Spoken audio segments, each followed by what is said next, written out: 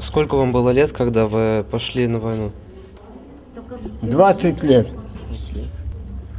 Вот 20 лет я получил звание лейтенанта и попал вот под Сталинград, потом Курская битва, потом Будапешт и потом Вена.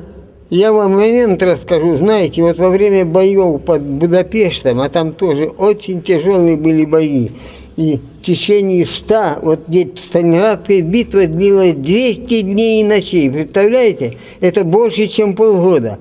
А битва за Будапешт 100 дней была. И вот там, в ходе рекогносцировки, я встречаю офицера. Офицера, который в Грозинском курсантском полку был командиром роты.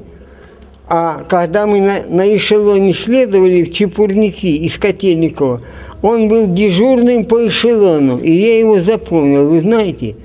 И смотрю, капитан, знакомое лицо, я тоже уже был капитан. Я говорю, вы из Ронинского училища? Он говорит, так точно. И я спросил, ну, судьбу училища скажите, я-то не знал, я попал в другую часть. Вот. Он говорит, все училище погибло. Погибло под Сталинградом во главе с начальником училища, полковником Сытниковым и комиссаром, полковым комиссаром Горюновым.